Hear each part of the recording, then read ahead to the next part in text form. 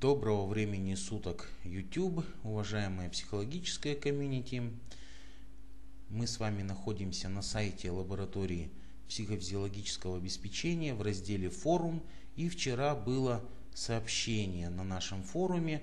Э, зарегистрированная девушка, значит, э, она под ником Мегом 929. Мы с ней долго переписывались до этого на почте. Наконец она собралась силами и по моей рекомендации задала свой вопрос на форуме и спросила вчера, как проводится экспериментальное психологическое исследование, какие тесты используются на мышление, память и интеллект, самые хорошие. Заранее благодарю. И здесь вот мое дальнейшее сообщение от ЛПФО Мегом 929. С вашего позволения я вам отвечу на ваши вопросы в одном из следующих своих видео на YouTube. И, собственно, вот это видео, оно посвящено ответу на этот вопрос. Как проводятся экспериментально-психологические исследования? Это настолько широкий вопрос, что ответить на него в одном видео просто невозможно. Об этом можно говорить часами, днями. Это большое количество времени, это лекции, лекции, еще раз лекции, чтобы научить, рассказать, как пользоваться значит, теми или иными инструментами для проведения экспериментально-психологического исследования. Патопсихология, патопсихологическая диагностика очень точная наука. Смысл в том, что в зависимости от того, какие мы какие перед э, медицинским психологом стоят задачи, какие в рамках какого э, патопсихологического синдрома комплекса он э, проводит очередное экспериментально-психологическое исследование ЭПИ, он использует те или иные патопсихологические методики. Методик очень много. Надо четко понимать, что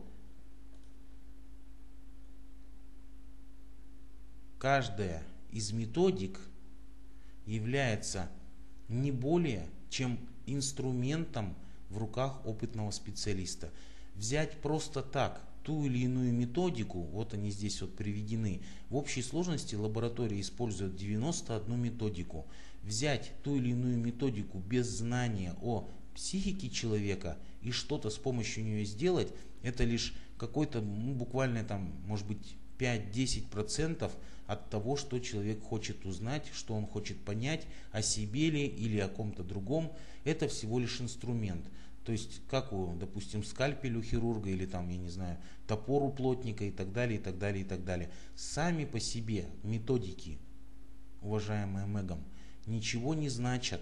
Можно найти и скачать эти методики, но для того, чтобы их правильно использовать, нужен опыт, знания, и просто так вот взять методику, классификацию, что-то там с ней сделать, перед кем-то разложить или кому-то дать задание даже по инструкции, мало. Надо знать саму теорию данной методики, что она изучает. При, вот здесь вот у меня не зря открыта наша книга, здесь перечислены все 9 основных патопсихологических синдрома комплексов. Это, значит, понятно, синдром психотической дезорганизации, шизофренический диссоци... диссоциативный синдром, аффективно-эндогенный синдром, олигофренический, экзогенно-органический, эндогенно-органический синдром, личностно-аномальный синдром, психогенно-психотический синдром, психогенно-невротический синдром. В рамках каждой вот этой, э, будем говорить, этого синдрома комплекса, симптома комплекса, синдрома патопсихологического применяются в разной степени те или иные методики. То есть, чем отличается болезнь пика от болезни Альцгеймера в смысле патопсихологическом? Можно провести методику Шульте в том и в другом случае при этих заболеваниях, и это нужно сделать, но результаты будут очень сильно отличаться, то есть э, результаты по методике Шульте будут сильно отличаться при болезни пика от результатов, полученных по этой же самой методике от болезни Альцгеймера. Тонкости в полученных результатах очень существенные. Знать это различие можно только проучившись, получив определенное образование и получив определенную главным образом практику. То есть если вы видите, допустим, пациента, страдающего болезнью Альцгеймера, то есть вы их видите, один, второй, третий пациент проходит перед вашими глазами, четвертый, пятый, да хоть десятый, хоть сотый, я не знаю. До конца все это понять очень сложно. То есть это требует больших знаний и большого опыта, различия от применения этой самой методики. Взять отдельно классификацию предметов, что вы увидите, да? как вы ее, во-первых, предъявите, во-вторых, э, что вы увидите на первом этапе проведения этой методики, на втором этапе и, наконец, на третьем. Результаты, э, допустим, проведения этой методики у человека, страдающих сниженным уровнем обобщения, да, то есть при олигофрении значит, будут одни, у шизофреника другие, у психопата третьи, и у э, страдающего эпилепсией, эпилепсией будут совершенно э, четвертые, да, то есть они не будут походить друг на друга. Но различия уловить можно только активно, пользуясь этой методикой, не один-два раза, а несколько десятков раз можно что-то будет после нескольких десятков проведенных испытаний, можно будет что-то начинать понимать и чувствовать, э, что и кто перед вами находится, что за человек, с какими проблемами он, значит, обратился, соответствуют ли эти проблемы, выявленные с помощью патопсихологических методик, тем записям, которые находятся в его, предположим, истории болезни, полученные медицинским психологом от врача-психиатра, очень часто происходит дифференциальная диагностика, именно разграничить, разделить то или иное. Вот не видно, непонятно врачу-психиатру, а что же такое, кто же перед ним сидит, какая-то вот трудность у него существует, не может он понять. И вот он направляет э, к специалисту, медицинскому психологу, медицинский психолог достает свои методики, дает ему ну, как правило, начинается обследование с таблиц Шульте, счета по крепелину, проверка памяти. Если э, нозологическая диагностика не определена, то есть начинается с самого начала, постепенно, постепенно, в процессе трех, четырех, пяти часов иногда медицинский психолог работает с человеком и постепенно продвигается с, с учетом своих знаний, своего опыта, продвигается к пониманию, кто перед ним, органик, шизофреник – значит, присутствуют ли эпилептические какие-то нарушения при проведении методики той же классификации, исключения предметов. Да, можно сказать, лучшая таблица на концентрацию и переключаемость внимания таблицы Шульте. Лучшая, но она лучшая только для специалиста. Для неспециалиста, как уже в приведенном мною примере, это ничего не даст. Вы не сможете дифференцировать олигофрению от болезни Альцгеймера, предположим. Да? Они будут похожи, эти результаты, но в них будут присутствовать тонкие нюансы, доступные для понимания только специалисту, который много-много-много раз проводил данную методику и для людей, страдающих умственной отсталостью, олигофрении, и для людей, как правило, возрастных, страдающих болезнью Альцгеймера. Можно сказать, что пиктограммы это супер методика, она простая и понятная, и она очень серьезно помогает в дифференцировании. То есть вот вы впервые видите человека, записи от психиатра нет, вы даете ему пиктограмму этому человеку и видите, что у него присутствует снижение процессов обобщения, что он конкретику рисует, объясняет слово болезнь, предположим, там, я не знаю, там, человек лежит на кровати или тяжелая работа, он объясняет это как человек копает яму. Одно дело нарисовать человека, э, значит, который копает яму, да, конкретно ситуационное значит, понимание термина тяжелая работа. Другое дело увидеть значит, человека, который катит в гору камень, и он объясняет этот рисунок тем, что это миф о Сизифе. И в этом случае мы видим, казалось бы, и в том, и в другом случае мы видим человека. В одном случае он копает яму, в другом тащит камень в гору, в гору закатывает этот камень. Совершенно разные мысли у специалиста появляются. Или же это конкретно ситуационный образ, или же это абстрактно-метафорический образ в плане сизифового труда. Это известный миф греческий, да, миф о Сизифе. То же самое, замечательная методика исключения предметов, без нее не проходит практически ни одно обследование. Но ну, нюансы, тонкости этой методики доступны только специалисту. Это всего лишь инструмент, тупой, заточенный ли, но топор. Он может быть острым, он может быть тупым. Значит, соответственно, если инструмент острый, топором, говорят, люди иногда там в старину брились топорами. У настоящих плотников, специалистов, они заточат свой топор, работают целый день, он у них остается острым, они еще в конце дня побриться могли. Известный такой тоже миф. Но это всего лишь инструмент, без знания о том, как этот инструмент применять и какую теорию, подоплеку он в себе содержит, методика бесполезна абсолютно. Нужен специалист, его знания, его голова, его опыт прежде всего, который нарабатывается после десятков, сотен обследований – и тогда человек может да сказать, я вижу слабый латентный признак предметов по методике исключения предметов. Или я вижу в большинстве случаев по методике, я вижу конкретно ситуационное. Если я вижу какие-то значит, задержки, трудности речи, речь идет, возможно, о каком-то органическом нарушении у более взрослого человека. По всем остальным методикам, как правило, в одном патопсихологическом эксперименте, ЭПИ, экспериментально-психологическом исследовании, проводится от минимум 5 до 10, 12, 15 методик. Начинается Шульте, запоминание 10 слов и 12 предметов обязательно дается в процессе и отсрочено. Нарушение памяти при Альцгеймере и болезни пика значительным образом различаются при проведении методики запоминания 10 слов. Точно так же по детям, предположим, это происходит.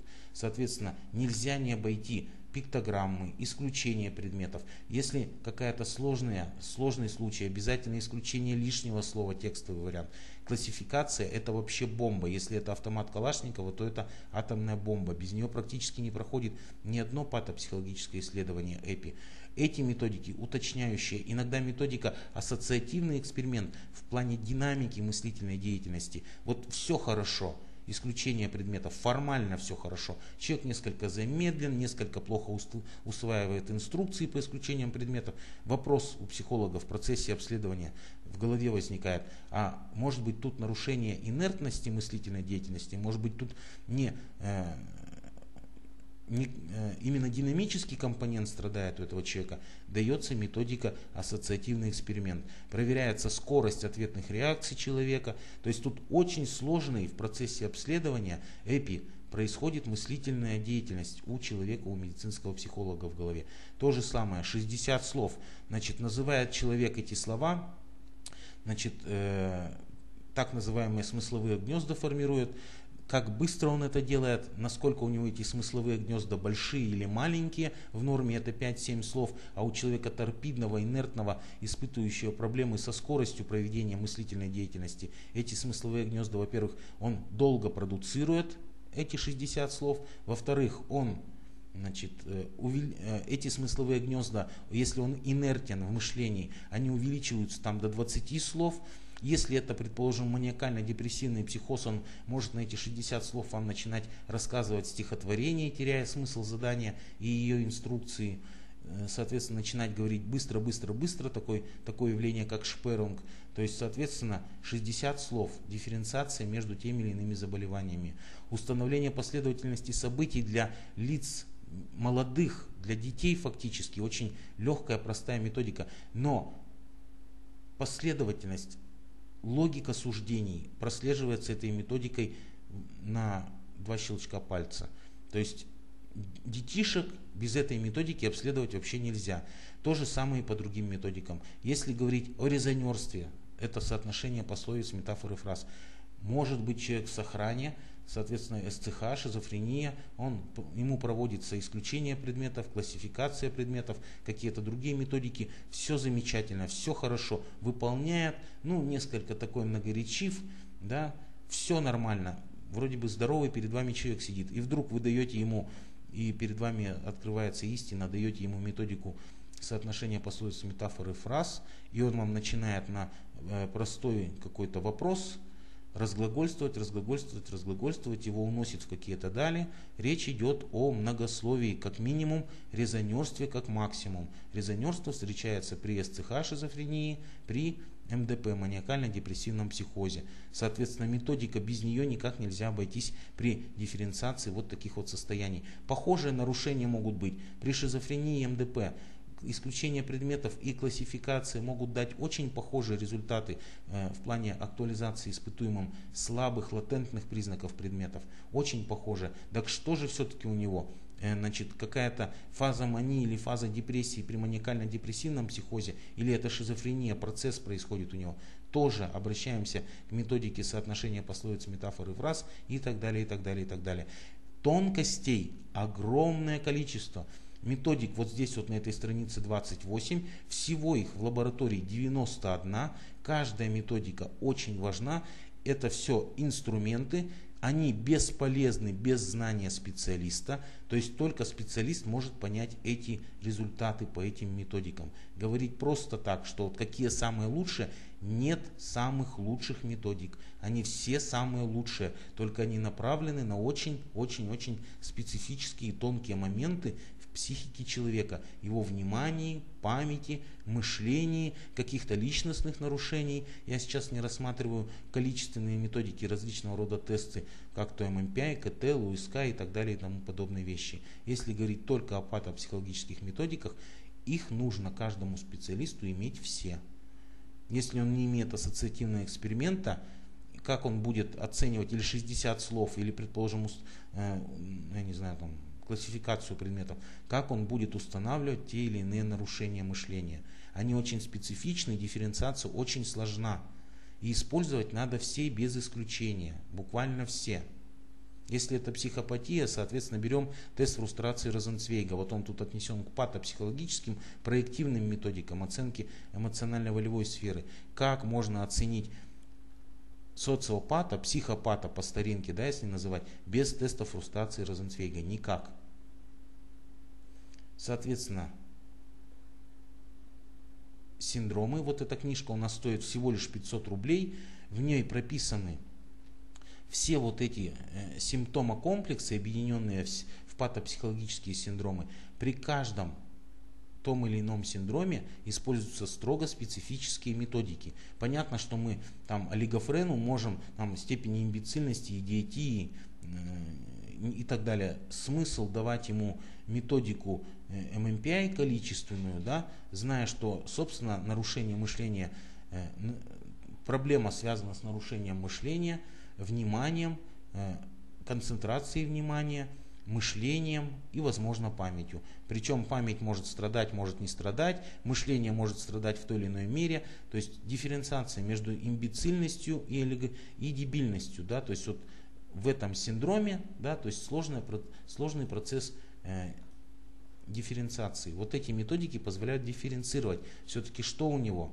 дебильность или имбецильность, вот так вот по-простому, по старинке объясняя все эти вещи. Соответственно, первая часть вопроса, как проводится экспериментальное психологические исследования. Если говорить о времени, да, садится человек, психолог, начинает с таблиц Шульте, 10 слов, простых аналогий, классификации, исключения предметов и пошел, пошел, пошел. В зависимости, это не тупая э, какая-то ситуация, вот сел и просто даешь методики тупо, там человек должен выполнить. У специалиста в момент проведения ЭПИ в голове происходит огромная работа. Он дифференцирует и понимает, у него возникают мысли, о, так вот это же я вижу по этой методике. Он хотел после, э, после этой методики дать, допустим, простые аналогии, но у него возникает какая-то мысль в рамках предложенных синдрома комплексов, и он может дать следующую, предполагал дать существенные признаки, а он может совершенно неожиданно у него возникает мысль после классификации предметов, он дает пословицы и поговорки, грубо говоря, да, то есть в зависимости от того, что он, чем он обладает, какими знаниями, в зависимости от этих знаний и его опыта, временного опыта, многих-многих обследований, он дает те или иные методики очередному своему пациенту. Как проходит? Это огромное, то есть если говорить, вот отвечать на, на вопрос как, то есть надо брать конкретного человека с конкретной нозологией и, соответственно, предлагать ему те или иные методики. Причем в процессе этого обследования надо очень серьезно думать, слушать, внимательно вслушиваясь в обороты речи, высказывания, описание той или иной карточки человеком и так далее. То есть сидишь и вдруг неожиданно понимаешь, что у человека там, нарушение какое-то совершенно не то, которое предполагалось изначально, просто на основании одной из приведенных методик. Это так вот, как вот по дебрям человек продирается сквозь лес, вот примерно это значит, чем успешнее специалист, чем он опытнее, тем легче он пройдет через, пройдет через какие-то заросли, да, там кусты, деревья и так далее. Э, чем менее опытный медицинский психолог, тем большее количество методик ему э, приходится использовать, тем он дольше следует до своей конечной цели постановки того или иного патопсихологического синдрома комплекса если отвечать на вопрос, как проводится. То есть ответа однозначного не существует. Масса, масса факторов на это влияют, как оно проводится. Э, вопрос вот второй, какие самые хорошие, мне кажется, я уже ответил, они все хорошие, не без одной из них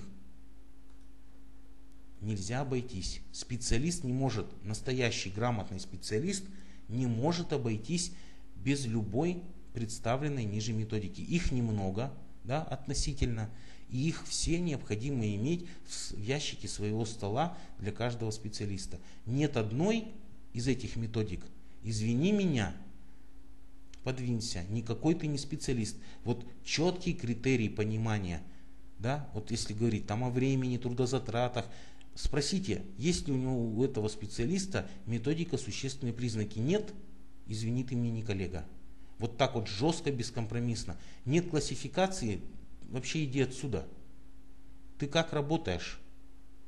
Нет и Бенгауза, иди отсюда. Никакой ты не медицинский психолог. Какие самые лучшие? Они все лучшие. Без них, без всех нельзя обойтись. Вот так вот бескомпромиссно отношение лично мое, моих коллег, моих сотрудников к вопросу самые хорошие методики. Отсутствует методика, ты уже не специалист. Ну вот, собственно, может быть несколько эмоциональное видео, но тем не менее, мне кажется, оно достаточно прозрачно дает понять, насколько это сложный процесс. Взять одну методику и что-то с помощью нее провести и говорить себе «я что-то понял» – это ерунда полная. Нарушение памяти иногда ловится запоминанием 10 слов, иногда запоминанием 12 предметов, а иногда по Леонтьеву, опосредованным запоминанием или пиктограммами. При одном заболевании опосредованная память страдает, которая исследуется методикой пиктограмм и опосредованным запоминанием по Леонтьеву, опосредованная память страдает. При другом непосредственная механическая, которая ловится запоминанием 10 слов и значит запоминанием 12 предметов. При, смотря какой нозологии в рамках чего, в рамках какого синдрома комплекса мы этого человека обследуем. Не имеем информации от врача-психиатра, плохо, но не критично. Смело берем методики, проводим, может быть, их несколько большее количество и, соответственно, определяем для себя, к той или иной, какому тому или иному симптомокомплексу относятся значит, проблемы этого человека. Вот ответ на мой вопрос по заданному вопросу на нашем форуме. На этом все. Будут какие-то вопросы. Предлагаю все-таки перейти, уважаемые господа, не на e-mail письма, да, а отправку своих сообщений на форум. Каждое сообщение я моментально вижу, как только оно приходит, оно появляется на форуме, мне приходит сообщение на мой телефон, и я, соответственно, вижу, что человек задает вопросы, люди начинают общаться на форуме, друг другу отвечать, и это меня не может не радовать. И в то же время я четко контролирую процесс. Под видео просьба писать только важную информацию, ту информацию, которая касается непосредственно содержания каждого конкретного видео. А общие вопросы, вот я перейду в оглавление форума, он очень большой, развитый. Тут можно найти разделы или создать раздел самостоятельно по любому я уверен, интересующему вас вопросы, вопросу. Если ошибетесь, напишите не в тот раздел, ничего страшного. Я перенесу этот вопрос в необходимый и правильный раздел. Но тут есть все для того, чтобы задать свой вопрос и подискутировать о нем между собой или со мной или и так далее. Ну вот, пожалуй, все, о чем я хотел сегодня сказать. На этом все. Благодарю вас за внимание и удачи вам!